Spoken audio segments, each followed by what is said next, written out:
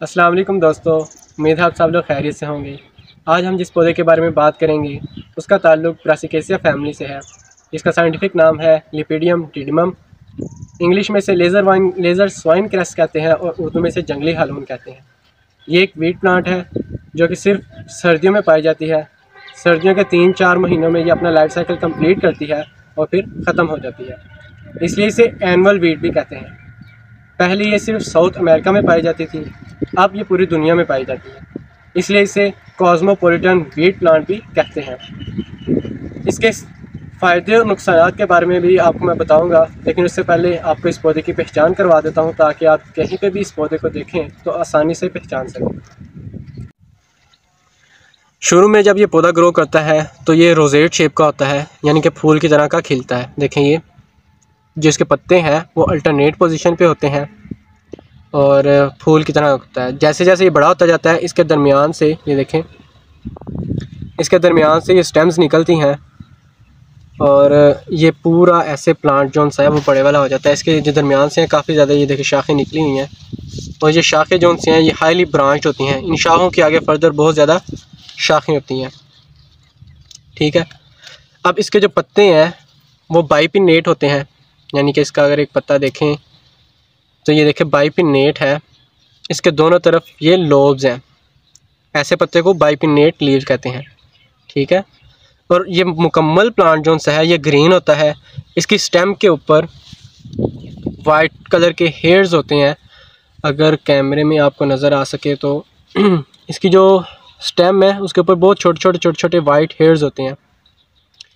जिन्हें हम ट्राइकोम्स कहते हैं, जो इसे मुख्तलिफ़ इंसेक्ट्स और पैथोजेंस जो इसके बीमारियाँ लगती हैं, उनसे बचाते हैं। ये इस पौधे की पहचान है। उम्मीद है आप इसे पहचान सकेंगे आराम से, जहाँ पे भी आप इसे लगा देखें। अब बात करते हैं इसके इस्तेमाल की और इसके फ़ायदों की। मुख्तलिफ़ ममालिक में इस पौधे का मुख्तलिफ़ इस्तेमाल होता है। इस पूरे पौधे का डिकॉक्शन जो है, वो तैयार करके, यानी कि पानी में से उबाल कर उस पानी को पिया जाता है, जिससे इसे सर दर्द और बुखार जैसी बीमारियाँ दूर होती हैं। इसके अलावा स्कर्वी डिज़ीज़ जो सी है, जो विटामिन सी की कमी की वजह से होती है, उसके लिए भी एज एन एंटी स्कॉर्ब्यूटिक के तौर पर ये इस्तेमाल होता है। और, साउथ अमेरिका में जहाँ का ये नेटिव प्लांट है, वहाँ पर इसे सब्ज़ी के तौर पर खाया जाता है। इसके अलावा इसके जो पत्ते हैं, उनका पोल्टिस यानी कि उन्हें पीस के और ज़ख्मों पर लगाया जाता है।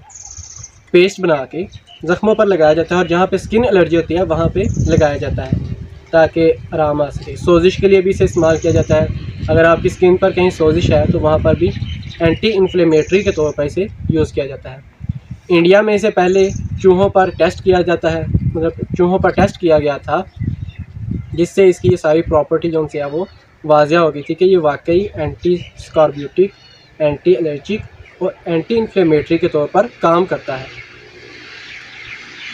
इसके अलावा अर्जेंटीना में इसे एक्सपेक्ट्रेंट के तौर पर इस्तेमाल किया जाता है, यानी बलगम को ख़त्म करने के लिए बुखार के लिए और गेंग्रीन के लिए भी इस्तेमाल किया जाता है। इसके केमिकल्स की बात करें जो इसके अंदर मौजूद होते हैं, जो हमारे लिए फ़ायदेमंद हैं, जिनसे हम ये सारे जो इसके इस्तेमाल हैं, वो लेते हैं। तो वो है फ्लेविनॉइड्स टर्पिनॉइड्स और सेपोनिन्स वगैरह।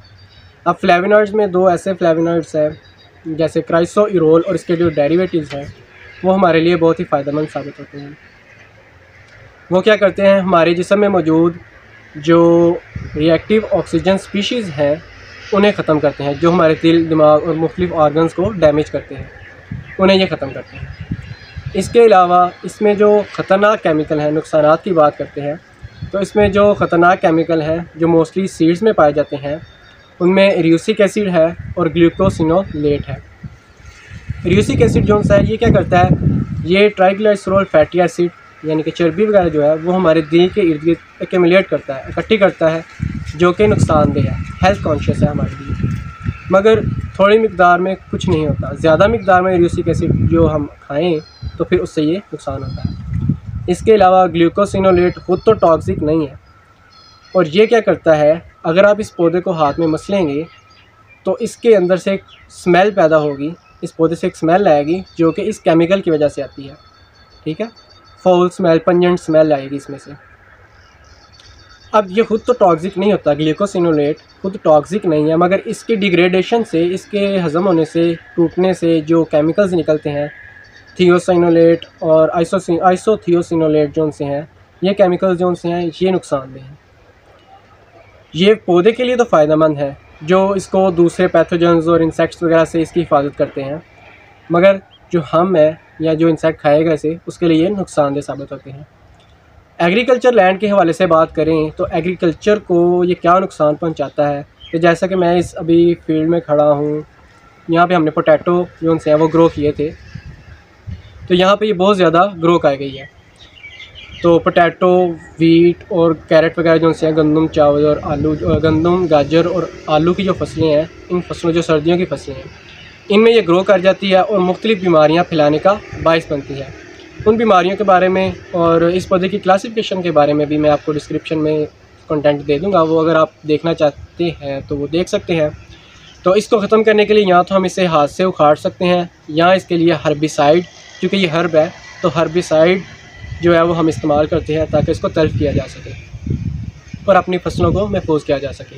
तो इस वक्त ये आलू की फ़सलों में काफ़ी ज़्यादा ग्रो की हुई है और इसे हम साफ़ कर रहे हैं। उम्मीद है आपको आज के पौधे का जो कंटेंट है, पसंद आया होगा और इस पौधे के बारे में काफ़ी कुछ जानने को मिलेगा। आपके इलाके में इस पौधे को क्या कहते हैं, इस पौधे का क्या नाम है, वो आप कमेंट सेक्शन में बता सकते हैं। इसके अलावा अगर आपको वीडियो पसंद आई हो तो इसे लाइक ज़रूर करें और अगर आप नए हैं इस चैनल पे तो इस चैनल को सब्सक्राइब ज़रूर कीजिए।